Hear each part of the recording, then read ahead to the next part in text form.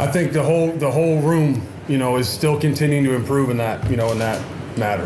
I think it's something that you build over time. It's not something that you can come in on Tuesday and just do it and it's over. It's because it's, it's a trust thing. You know, it's a trust thing. It's a comfort thing. It's a do, can I listen to the guy when it's fast, when it's chaotic, when it's moving fast. Excuse my language, but can I do it when it's hard? And you have to build trust on and off the field with the guys. So to answer your question, I think everyone's improving and Drayk has a lot, but it's a moving process and we're still in the middle of it. Well, Kiser is all, he's always been that for us. He's always been, even since I got here, he's been the utility knife in terms of being able to play any spot that we ask him to do, which is a you know valuable part of what he is. Kiser is one of the most improved, in my opinion, over the last year, year and a half or so since I've gotten here.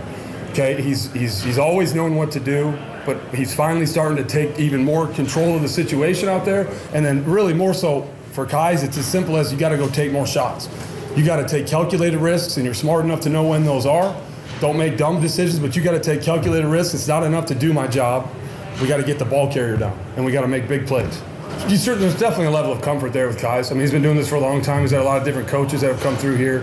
He's played a few different systems, so he's used to adjusting and processing information. Um, I would say Kiser is very confident out there. He's played a lot of football for us.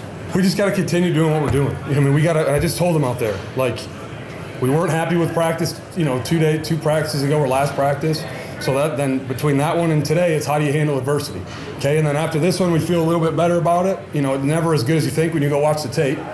Now it's how do we handle success?